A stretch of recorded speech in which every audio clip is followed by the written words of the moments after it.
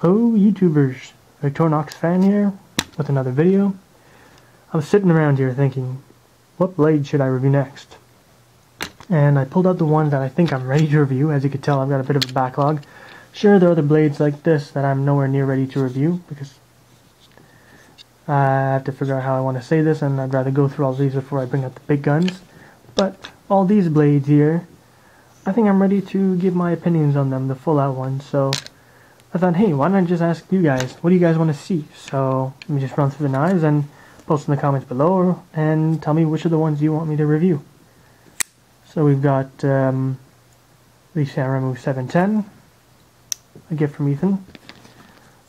Sanrenmu 763, really impressive blade. The Victorinox Cyber Tool 34 that I got in Switzerland. The fantastic Tim Galyean Pro Series Turbulence.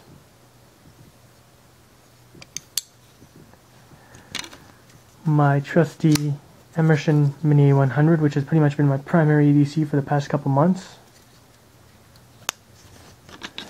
This blade, which I've had for a while but not reviewed, the Military carbon fiber peel ply, BG42 blade, one of the biggest folders I own, and the biggest folder that I own that I actually think is practical in any sense. My Para 2, which is one of my top three favorite production knives, and easily my top five favorite knives in general. My Sprint Run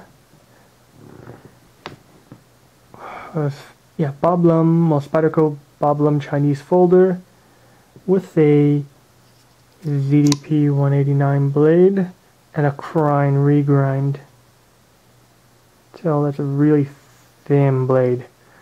So I've got that. Got my Meyerco Shockwave, Kirby Lambert design, produced by Meyerco. I've got some views on this that might, you know, go against what many people are saying on the YouTube community. Probably closer to what uh, Myopic Chihuahua, Chihuahua said. Um, not too positive on this. And the Opinel number 8 Carbon. I seriously think Opinels are super underrated and uh, they deserve some love. Hold up.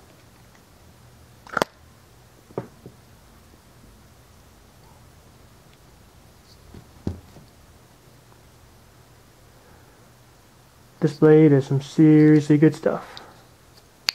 So yeah, pick which one of these you guys want to see, like, you know, really badly, and obviously the, the main ones, I'll, I'll review those first and filter the others as I go along. Peace out, guys. Have a good you around.